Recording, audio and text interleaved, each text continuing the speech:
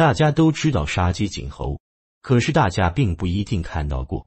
如今普京就让大家都饱饱眼福。近日就在顿巴斯大会战的节骨眼上，普京再次强势出手，向波兰和保加利亚这两个不友好国家开刀了。四月二十七日，普京的新闻秘书佩斯科夫宣布，将暂停向欧盟国家波兰与保加利亚供应天然气，因为这两个国家不准备使用卢布进行结算。同时，俄方还表示，不排除对其他国家也断供天然气。可以说，波兰与保加利亚这两个国家现在已经成为了俄方卢布结算令的祭品。普京这就是在杀鸡儆猴，以儆效尤。结果，欧盟委员会主席冯德莱恩竟然发推指责俄罗斯停工天然气是勒索行为。不过，冯德莱恩的话没有一点道理。俄罗斯只是要求欧洲国家开设卢布账户，他们仍然可用欧元支付天然气费用，因此这并没有违反欧盟的制裁令。波兰和保加利亚不想遵守这项要求，也就无法付款。用俄罗斯人的话说，总不能白用天然气吧？因此，所谓的勒索纯属无稽之谈。而且，俄方还声明，将在对方同意使用卢布支付天然气款项后恢复燃气供应。这比美西方国家疯狂制裁俄罗斯，甚至扣押俄罗斯个人财物文明多了。波兰方面却声称，俄罗斯的断供行为违反了合同义务，波兰将抗议与反对到底。不过，波兰很快就会对自己当出头鸟的举动而后悔。因为许多欧洲国家已经开始认怂了。英国《泰晤士报》称，大多数欧盟能源买家极有可能最终顺从俄方提出的卢布结算令，无论他们说什么不以卢布支付，你都可以忽略不计。德国、奥地利、匈牙利和斯洛伐克的天然气供应商已计划开设俄罗斯银行账户，其中包括欧洲最大的两家俄罗斯天然气进口商——德国能源公司。奥地利石油天然气集团，据意大利媒体二十七日报道，意大利跨国能源公司安尼集团正准备在俄罗斯天然气工业银行开设卢布账户，以便能够按照俄方要求以卢布购买天然气。可以说，埃尼集团非常聪明，也非常务实。他们对此拒绝发表评论，因为在三月，埃尼集团首席执行官德斯卡尔奇曾在迪拜能源论坛上发言。称公司不会以卢布支付天然气，如今才过了一个月就彻底变卦了。不过，IB 集团也给自己找了一个台阶下，他们称此举是预防性措施，公司正等待意大利政府和欧盟就使用卢布账户购买天然气的可能性和条件给出指导意见。同时，据可靠消息说，已经有四位欧洲天然气的买家按照俄罗斯的要求。以卢布支付了供应天然气的费用。另外，十家欧洲公司已经在俄罗斯天然气工业银行开设了满足俄罗斯支付需求的账户。尽管欧盟主席冯德莱恩呼吁企业不要屈服于俄罗斯以卢布支付天然气的要求，但是前几天欧盟委员会却提出，欧盟买家有可能在不违反对俄制裁措施的条件下，以欧元或美元支付，再把支付款兑换成卢布。以满足俄方天然气卢布结算的要求，因此这就已经说明欧盟已经准备让步了。如今波兰的处境可就太尴尬了。不过波兰仍然在嘴硬，波兰总理穆拉维茨基还对外强调，离开了俄罗斯天然气，国家依然能够运转。虽然波兰总理可能在说大话，但是波兰也有自身的优越条件，因为通往欧洲国家的天然气管道从波兰过境。因此，如果实在没有天然气用，他们可能偷偷的从管道中窃取一些，或者向其他欧洲国家购买。而且已经有国家开始这么干了。近日，阿尔及利亚能源和矿业部发布声明称，如果西班牙政府将购自阿尔及利亚的天然气转出口到摩洛哥，将停止对西班牙的天然气供应。因为阿尔及利亚能源和矿业部长阿尔卡布表示，他已从西班牙方获悉。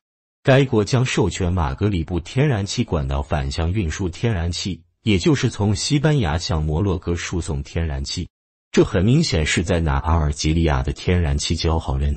有意思的是，西班牙声称这些天然气不是来自阿尔及利亚的，这岂不是太好笑了？难道说天底下只有西班牙人最聪明吗？如果单纯从做生意的角度看，有人愿意买自己的天然气，应当是好事。怎么阿尔及利亚还不干了？因为阿尔及利亚因与摩洛哥关系恶化，已于去年八月宣布同该国断交了。现在阿尔及利亚官员称，阿尔及利亚今后将完全通过海底管道将其天然气输送到西班牙，以避开摩洛哥。可见，大家现在都学会了，已经将能源政治化了。这对全球来说可不是什么好事。如今，一旦德国等国家也向波兰反向输送天然气，俄罗斯很可能会减少供气量，甚至会暂停向欧洲供气。不过，更加可笑的是，就在前几天，波兰总理还在痛批德国，声称德国是制裁俄罗斯道路上最大的绊脚石，是欧盟内最大的叛徒，要求德国必须停止进口俄罗斯天然气。可现在却指望上德国的天然气了。即使波兰不从其他欧洲国家中购买来自俄罗斯的天然气，结果也一样，因为天然气的需求大，价格已经大幅上涨。无论是谁的天然气，波兰都只能从其他国的二道贩子手上再买一遍，多花点冤枉钱。可见这种无能狂吠式的自信和自杀没什么两样。就算是一直紧跟美国的英国，其财政部也在二十二日公布了一份文件，表示英国已向俄罗斯天然气工业银行其子公司授权于五月底前使用卢布支付俄罗斯天然气款项。现在看来，普京的卢布结算令。的确是厉害。欧洲各国挣扎了一个多月，最终还是只能服软，乖乖遵从。不过，波兰这一回又帮了俄罗斯一个大忙，因为他不仅让俄罗斯能够完成杀鸡儆猴的任务，还促使在欧洲天然气的期货价格瞬间飙升百分之十七，让俄罗斯赚得盆满钵满，也让卢布的汇率再次迎来一波强势上涨。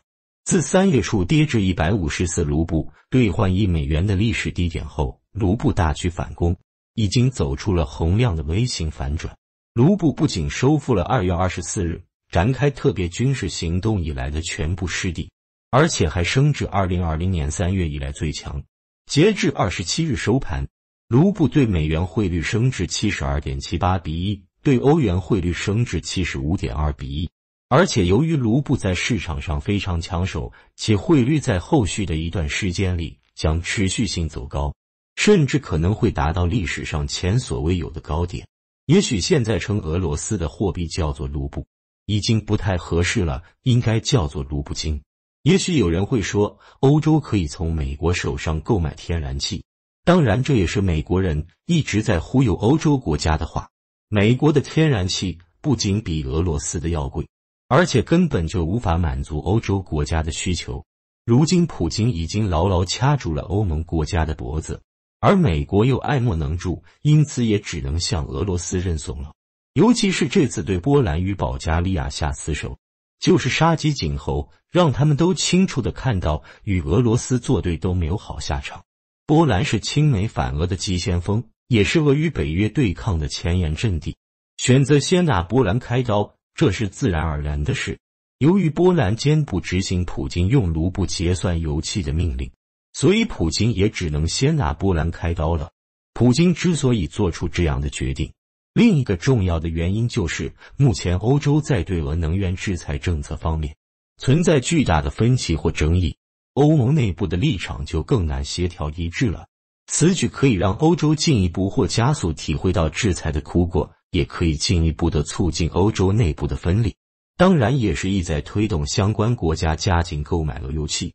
相信这回一些国家会抓紧时间大量的进口，这可能是普京的真正用意。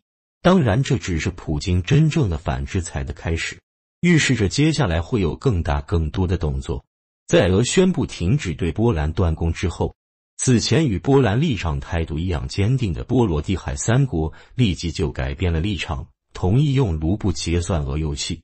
欧盟一直强调正在摆脱对俄油气的依赖，也一直强调迅速寻找第三方替代进口来源。可替代方案也好，替代来源也罢，这不可能是短时间可以实现的事。